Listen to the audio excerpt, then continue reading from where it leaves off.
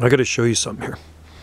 This camellia, absolutely loaded with flower buds, but it really does look like a peony. We have peonies that kind of look like this one.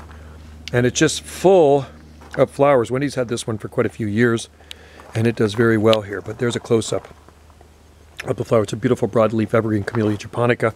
She's got a lot of them in the garden, and uh, thriving right there, growing underneath Fatsia, Fatsia trees.